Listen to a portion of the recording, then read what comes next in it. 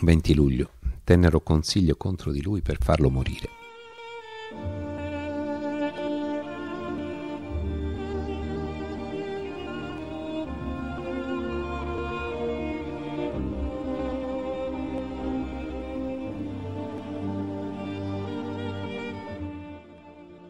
Contro chi i farisei tengono consiglio per farlo morire? Contro colui che il Signore ha scelto, chiamato, mandato, costituito, stabilito alleanza del suo popolo e luce delle nazioni. Chi sono i farisei? Essi si definiscono e si proclamano i difensori della santità di Dio e i cultori della sua vera religione. Se però ascoltiamo quanto Gesù dice di essi, dobbiamo concludere che sono i difensori di se stessi e della religione del loro cuore. Guai a voi, scribi e farisei, ipocriti, che chiudete il regno dei cieli davanti alla gente. Di fatto non lasciate entrare voi e non lasciate entrare nemmeno quelli che vogliono entrare.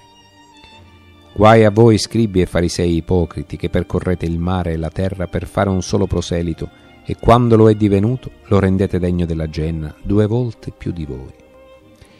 Guai a voi, scribi e farisei ipocriti, che pagate la decima sulla menta, sull'aneto e sul cumino, e trasgredite le prescrizioni più gravi della legge, la giustizia, la misericordia e la fedeltà.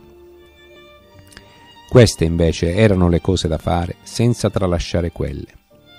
Guide cieche che filtrate il moscerino e ingoiate il cammello. Guai a voi, scribi e farisei ipocriti, che pulite l'esterno del bicchiere del piatto, ma all'interno sono pieni di avidità e di intemperanza.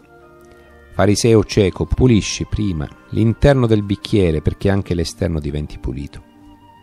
Guai a voi, scribi e farisei ipocriti, che assomigliate a sepolcri imbiancati. All'esterno appaiono belli, ma dentro sono pieni di ossa di morti e di ogni marciume. Così anche voi, all'esterno apparite giusti davanti alla gente, ma dentro siete pieni di ipocrisia e di iniquità.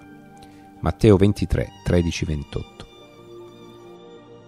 Cristo in ogni sua parola ed opera si rivela come vero segno di contraddizione se le sue opere e le sue parole che vengono direttamente dal cuore del Padre nello Spirito Santo turbano a tal punto i farisei da spingerli a desiderare, volere, decidere la sua morte, è segno evidente che essi non sono nella parola del Signore.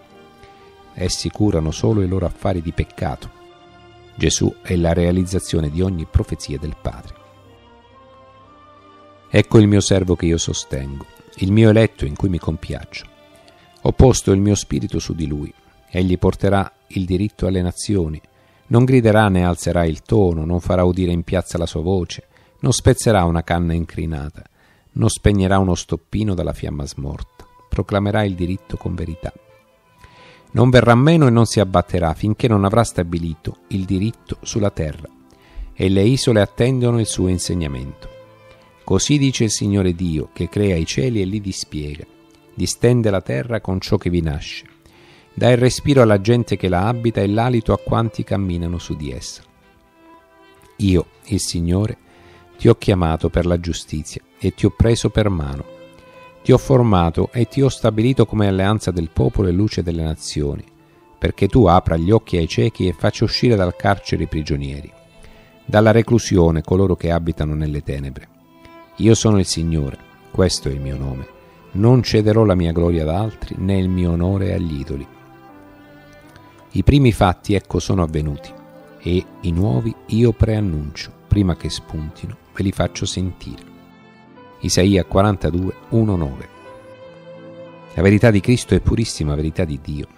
La verità di Dio diviene verità storica in pienezza di giustizia e di santità nella verità di Cristo. Chi è contro la verità di Cristo e contro la verità di Dio. Chi non ha la verità di Dio e al suo posto ha intronizzato nel suo cuore la falsità e la menzogna, mai potrà accogliere la verità di Cristo Signore, poiché le tenebre odiano la luce, se esse vogliono regnare devono uccidere la luce. La decisione di uccidere Cristo attesta che i farisei sono ben oltre ogni limite di peccato. Allora i farisei uscirono e tennero consiglio contro di lui per farlo morire.